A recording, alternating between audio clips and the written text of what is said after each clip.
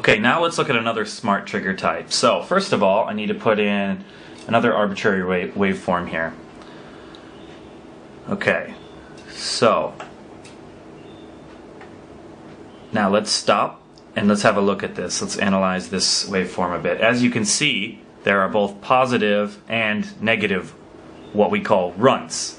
Yeah? So, what we need to do, for example, is let's say we want to isolate only the positive runts. So let's have a look at these two guys. Okay, so we're moving the cursors right now because we need to measure the time of the small pulse and then the wider pulse.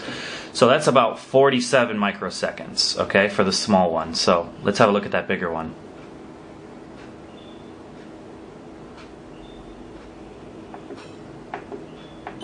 Okay, set X1. And looks like it's about uh, 90, 91, okay, microseconds. So somewhere in between that uh, 49 and uh, 90 for our time.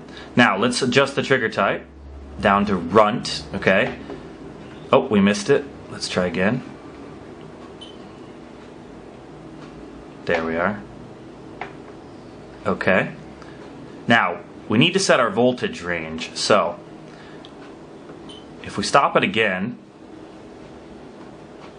we can have a look and then we can adjust our voltage range just to catch those runt pulses, okay?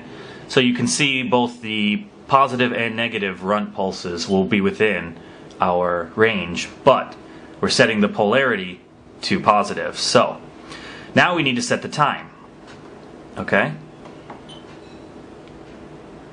So we measured, uh, what was it, 47 or 49 to about 90. So anywhere in between that, uh, 47, let's say 50 to 90, anywhere between that microseconds.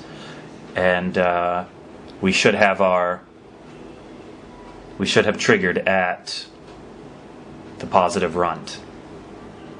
And since we have it set to less than our limit range, it'll trigger on the uh, shorter pulse. And there we have it. Okay, so 47. And I think if we go down from 47 just a bit, we should be untriggered. Yep. Okay, so 47 is right about where it's at. Then, if we change that limit range and we can go to greater than, and we go up to anything up above 47, now we are triggered at the wider one. Yeah? So, that's how the runt uh, trigger type works.